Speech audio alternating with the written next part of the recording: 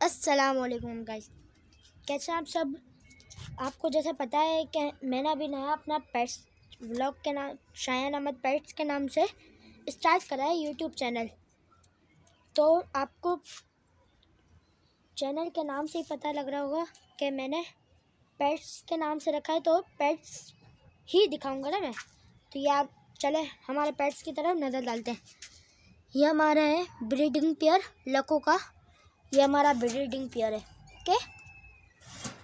ये हमारा बिल्कुल तैयार पेयर है, बस इसके अंडे आने ही वाले हैं। ये भी हमारा एक पेयर है, हमने सेपरेट केज दिए हैं सबको, क्योंकि जोड़े जोड़े करे हुए सेपरेट हैं। और ये शराजी नर है, और इसके सामने, साथ हमने एक फ़ीमेल रखी हुई है। और एक ये हमारा जोड़ा है, ये घाघरे की मादी है और अंदर इसका नर बैठा हुआ है अंडों पे। तो आपको इसकी भी जल्दी गुड न्यूज़ देंगे कि इनके अंडों में से जब बच्चे निकलेंगे, आपको इनकी भी गुड न्यूज़ देंगे। और आपको इधर का शौक करवाते हैं। इधर भी हमने थोड़े बहुत पिजन रखे हुए हैं। ये देखें ये देखें आप। यहाँ भी हमने तीन पिजन रखे हुए हैं। ये वाली कोने वाली ब्लैक वाली मादी का और ये ऊपर जो मेल बैठा हुआ है, इन दोनों का पेड़ लगा हुआ है। और जो ये पीछे नया अभी हमारे, मैं आया है अभी, हमारा नया नया मेहमान है ये। तो आपको शौक करवाते हैं सबका।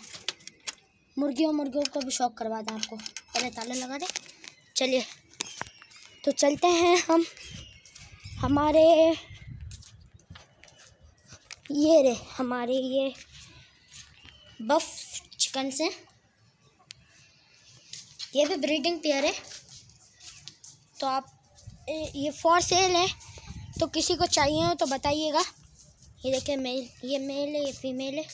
ये भी ब्रीडिंग पेयर है और ये हमारा एक छोटा सा नन्ना सा मेहमान। ये भी हमारा कब से है, हमारे पास।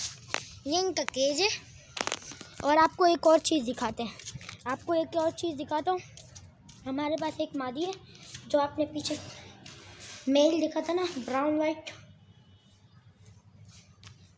जब मेल देखा था तो उसकी ये फीमेल है। इसकी आँख ख़राब हो गई है तो इसलिए हमने इनको दूसरी फीमेल दी हुई है।